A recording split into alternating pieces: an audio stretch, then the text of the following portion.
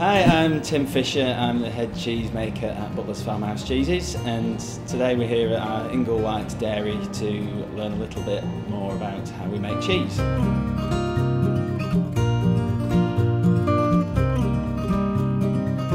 So here at Butler's, we buy milk from nine local farms. All the milk we bring into the dairy is first pasteurised before being transferred into one of our cheese making vats. And it's at that point where the, uh, the real magic begins.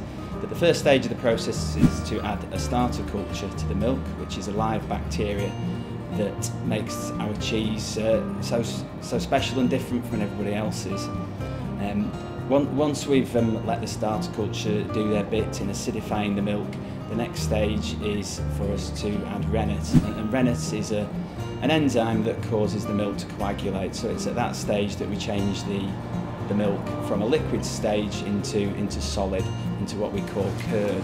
So once we've uh, turned our milk into curd, we then cut the curd into small pieces, give it a stir, and then, then we um, separate the curds from the whey. And then the final stage is for us to add salt to the, the curd. We mix that in really well, mill the curd into small pieces, and then we put it into a cheese mould.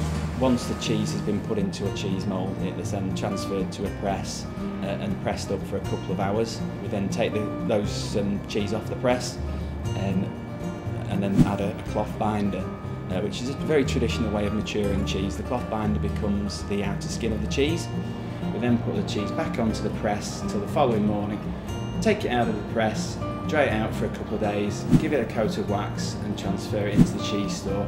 For anything up to 12 months to be honest, um, uh, a good cheese is like a good wine, it will, uh, will improve with, age.